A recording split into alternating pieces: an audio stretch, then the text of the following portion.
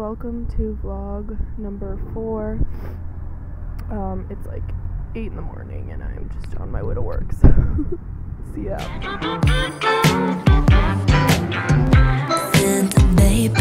Okay, so basically I'm dying, um, but not really. I'm dramatic. And this is my laundry. I'm doing. Nathalie's like, well, you're dying. I just scared her. No, I thought you were calling the salon. You're like, oh, I can't come. I'm like dying. like, oh yeah, I'm going to the nail salon. So we'll see. Because like, look at this shit. Like, ew. What about this? Ew. But it's also final, so like, I probably shouldn't even get acrylics. But your girl wants to be fresh. I don't know. I wish I could ask you right now what color I should get, but I'm already gonna be done when this, you see this. So. Ow. Okay, I gotta go. Bye.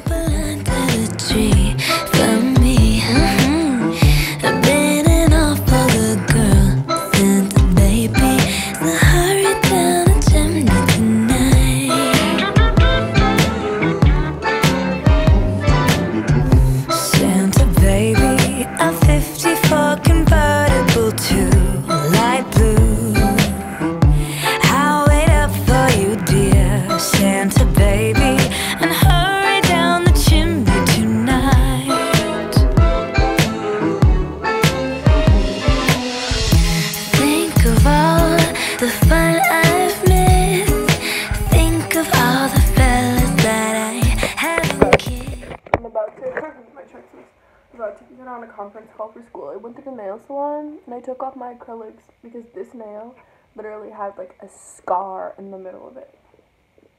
So yep, that's the plan.